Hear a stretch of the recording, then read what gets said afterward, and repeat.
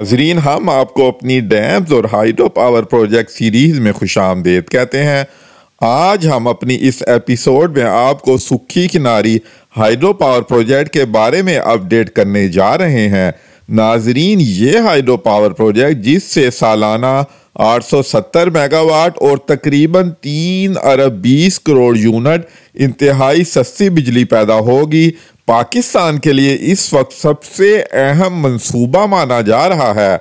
इस मंसूबे की तकमील से पाकिस्तान की मीशत को बहुत बड़ा बूस्ट मिलने जा रहा है।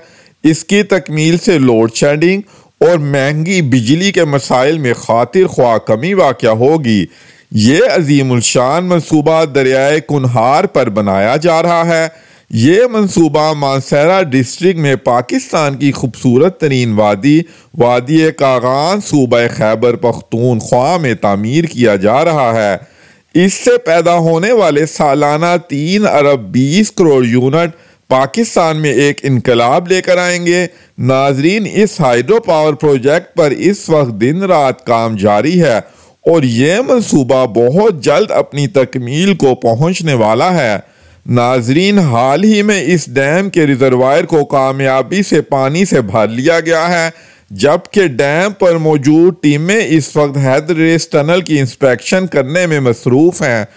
ये टीम इस बात की जाँच करेगी कि कहीं इसकी टनल में कोई लीकेज तो नहीं। नाजीन इस डैम की हेड रेस टनल ही डैम का सबसे अहम जुज्व है। इस हेड रेस टनल की लंबाई तेईस इशारिया तेरह किलोमीटर है।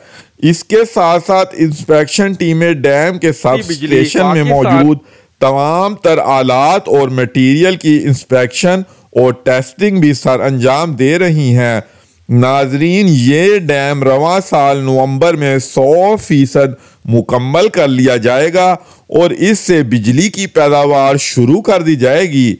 ये हाइड्रो पावर प्रोजेक्ट कैपेसिटी के लिहाज से पाकिस्तान के बड़े हाइड्रो पावर प्रोजेक्ट में शुमार होगा। सूखी किनारी हाइड्रो पावर प्रोजेक्ट पर एक अरब छियानवे करोड़ अमरीकी डॉलर लागत आएगी और इसकी फ़ी यूनिट कॉस्ट आठ शारिया आठ सेंट है। सूखी किनारी हाइड्रो पावर प्रोजेक्ट पाकिस्तान का सबसे बड़ा private sector hydro power development मंसूबा भी है, जबकि ये मंसूबा चाइना पाकिस्तान इकोनॉमिक कॉरिडोर का हिस्सा है। तो नाजरीन, ये थी हमारी आज की वीडियो। उम्मीद करते हैं आपको वीडियो पसंद आई होगी। काइंडली चैनल को लाइक और सब्सक्राइब कर दीजिएगा। अब आपसे नेक्स्ट वीडियो में मुलाकात होगी।